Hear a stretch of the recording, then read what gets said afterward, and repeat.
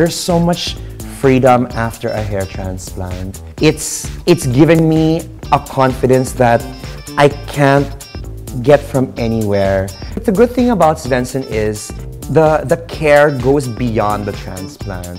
Hair transplants at Svenson are easy breezy, not painful, and the results are permanent and natural looking.